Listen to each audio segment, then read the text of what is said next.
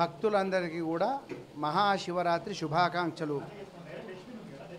ద్వారకానగర్ షేక్పేట రాయదుర్గంలో వేంచేసున్న శ్రీ శ్రీ శ్రీ మల్లికార్జున స్వామి వారి యొక్క ప్రత్యేకంగా ఇవాళ మహాశివరాత్రి సందర్భంగా ప్రత్యేక అభిషేక కార్యక్రమాలు మరియు అభిషేక కార్యక్రమాలు మరియు కళ్యాణోత్సవం లింగోద్భవంకు మహామంగళారతి కూడా మంత్రపుష్పం కూడా కార్యక్రమాలు కూడా జరుగుతున్నాయి.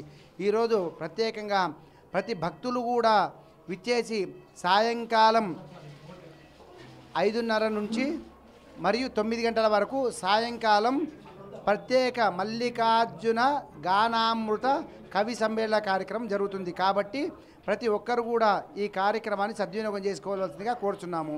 అలాగే పన్నెండు గంటలకు మహామంగళారతి లింగోద్భవం ఆ తర్వాత మహామంత్ర పుష్ప కార్యక్రమాలన్నీ కూడా జరుగుతున్నాయి.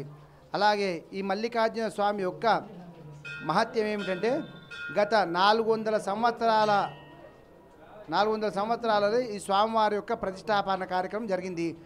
అలా అలాగే స్వామివారి చాలా పెద్ద చరిత్ర ఉన్నది ఈ స్వామివారికి. కాబట్టి ప్రతి ఒక్కరు కూడా ఇక్కడ కోరిన కోరికలన్నీ కూడా నెరవేరును. అందరికీ మహాశివరాత్రి శుభాకాంక్షలు. ఇక్కడ ద్వారకానగర్ కాలనీ హనుమాన్ దేవస్థానంలో శివాలయం గుడిలో ప్రత్యేక పూజలు నిర్వహించబడుతుంది. మార్నింగ్ మూడు గంటల నుంచి అభిషేక కార్యక్రమాలు జరుగుతూ మధ్యాహ్నం ప్రత్యేక పూజలతో జరుపుతూ సాయంత్రం కవి సమ్మేళన కార్యక్రమం కూడా జరుపబడుతున్నది. సో భక్తులందరూ తాము సమయం తీసుకొని ఈ గుడికి అందరు రావాల్సిందిగా మేము కోరుచున్నాము. సో ఇక్కడ అన్ని ప్రత్యేక పూజలు పదకొండు గంటల వరకు అభిషేకాలు అంటే రుద్రాభిషేకాల అభిషేకంతో మీకు అందుబాటులో ఉంటారు స్వామివారు.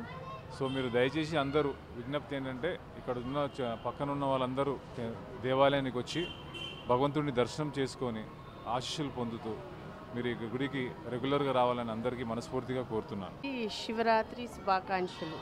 అందరికీ మహాశివరాత్రి శుభాకాంక్షలు. అందరికీ మహాశివరాత్రి శుభాకాంక్షలు. హనుమాన్ దేవస్థానం మన దేవస్థానంలో ప్రతి సంవత్సరం జరిగినట్లుగానే ఈ సంవత్సరం కూడా శివరాత్రి ఉత్సవాలన్నీ కూడా ప్రారంభమయ్యాయి.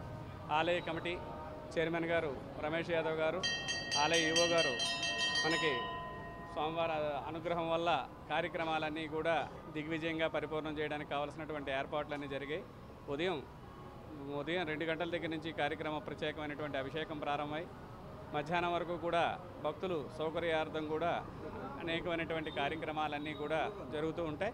అలాగే సాయంత్రం నాలుగు గంటలకు సోమవారి తిరువిధోత్సవం అలాగే రాత్రి ఏడున్నర గంటలకు స్వామివారి కళ్యాణం జరుగుతుంది.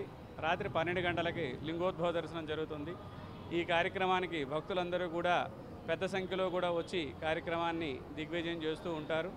కోరిన కోరికలు తీర్చేటువంటి వాడు మల్లికార్జున స్వామిని బాగా నమ్మకం. కావున భక్తులందరూ కూడా పెద్ద సంఖ్యలో వచ్చి ఇక్కడ కార్యక్రమాన్ని దిగ్విజయం చేస్తూ ఉంటారు. జయ శ్రీరామ్.